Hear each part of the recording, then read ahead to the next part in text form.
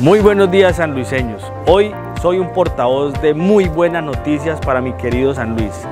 Quiero decirles que este próximo 28 de mayo vamos a estar firmando el contrato más importante en la administración sanluiseña de Guillermo Ignacio Alvira Costa.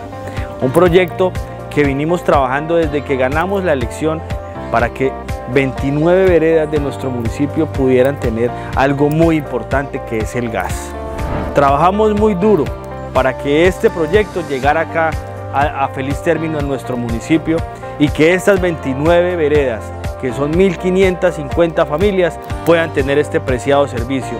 Trabajamos durísimo y lo trabajamos con orgullo, con satisfacción, con ganas, para que todas estas familias no tengan que seguir poniéndole las costillas al sol a conseguir eh, leña, a ir a talar un árbol para que puedan tener esa comida en su casa que hoy la van a poder tener con el gas domiciliario gracias al trabajo que nosotros hemos hecho. Este proyecto que muchas personas decían que no se podía hacer por todos los problemas que tenían, hoy es un hecho y decirles que sí trabajamos y vamos a seguir trabajando por el progreso de San Luis y para que esto se vea reflejado en los hogares de nuestras veredas del municipio de San Luis. Seguimos trabajando, seguimos cumpliendo porque es el momento que regresen las obras. Alcaldía Municipal de San Luis Tolima. Es el momento que regresen las obras.